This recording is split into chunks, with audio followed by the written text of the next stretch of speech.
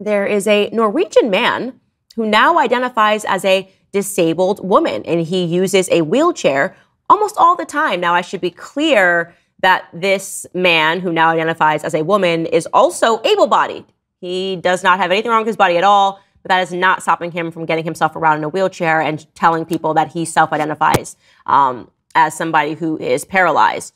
So on October 28th, Good Morning Norway aired an interview with Jørund Viktoria Alme, 53 year old able bodied male who now identifies as a disabled woman. And in the interview, he stated that he had always wished that he had been born a woman who was paralyzed from the waist down.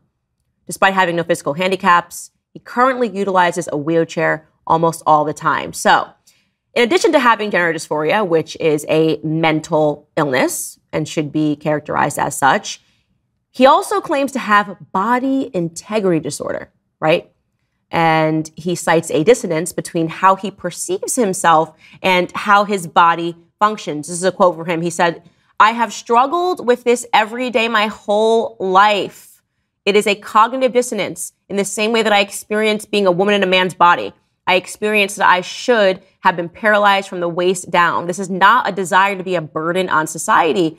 It is about the wheel- wheelchair being an aid for me to function in everyday life, both privately and at work.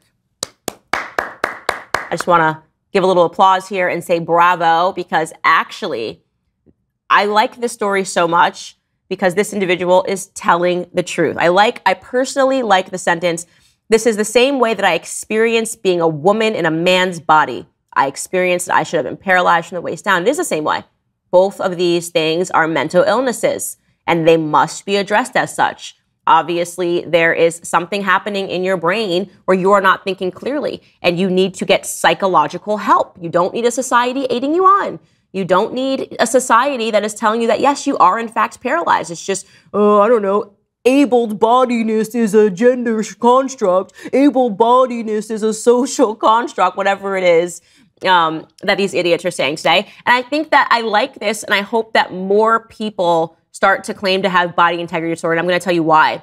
Because it's going to take something like this, right, for people to understand the slippery slope of not acknowledging reality, right? So if we're going to say that a man can say that he's a woman, okay, then we should also say that, of course, an able bodied person can say that they're paralyzed. And if they can say they're paralyzed, why aren't they getting uh, wheelchair access? Does that mean that they should be able to stand in the DMV and get things changed so that they can actually identify as somebody who's paralyzed, does that mean that they should be able to park in the handicap spaces? Why can't they get a handicap sign for their car? These are very important questions. And the only way that society is going to start asking them and trying to draw distinctions between one mental disorder and the other is if people like this start becoming more extreme. This might be the only answer to the crazy problem that we have right now in society, where we have a bunch of people that are trying to legitimatize mental illness. All right, guys, that's it. I'm going to continue reading some of your comments, and I'm also going to answer your questions in the next portion of the show, which is going to be available exclusively on Daily Wire Plus. So if you're not a member yet, go ahead and click the link in the description and subscribe right now.